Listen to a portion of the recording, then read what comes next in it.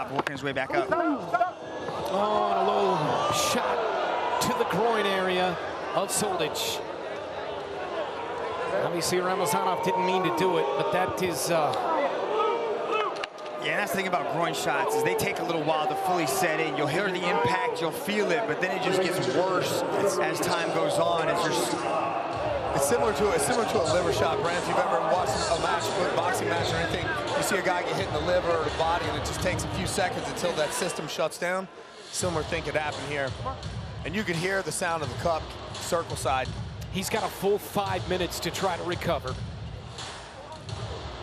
Yeah, he Soldic is in a world of pain right now.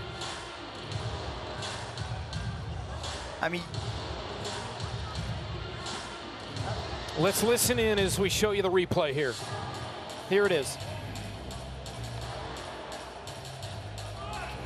And Soldic did a really good job working his way back up. Oh, and a low shot. Yeah, you could hear it. We could Did hear that it sound circle plastic side. to you? Yeah, we're, we're back to that. Is I, I don't think he's wearing a Thai cup. I should just I should just send out a blast email to every every athlete on our roster. Thai cups, guys. Get the steel Thai cups. The steel Quit using the cups, plastic. you know, they don't they don't feel good. You know, they don't like it's not like you feel nothing, but there's so much more protection when you have a Thai cup on. It's basically just like a it's like a steel cup is pretty much what. Concrete. it's a little chalice. Quick thing. He's got a full five minutes.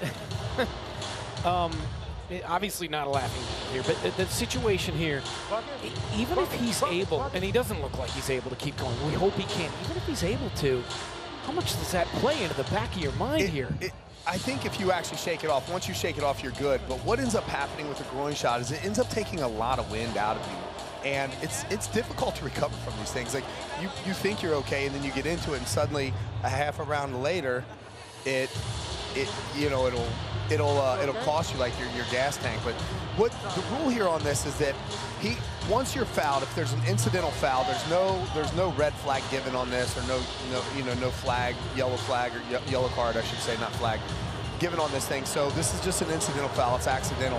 If something like this were to continue to happen a second or third time, that's what would cause a yellow card or a red card. But once someone is injured, you have the duration of a round, so you have five minutes to recover from this. This is just unfortunate because this is Soldic's debut, and I'm uh, 100% certain that he didn't Herb Dean just called it off. Wow. He can't continue.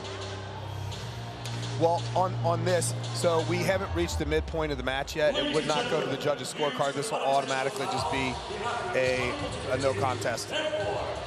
I mean, you can tell Ramazanov feels terrible about it. At the same time, he wants Soldic to be able to continue and pull off a huge win here. But Soldic can't do it. Herb Dean waved it off, and that's it. Mean, yeah, you want to be tough. Yeah, you want to go out there and put on a show, but ultimately, I mean, you're in there against one of the dangerous welterweights in the world. If you're not 100%, you have to make that decision.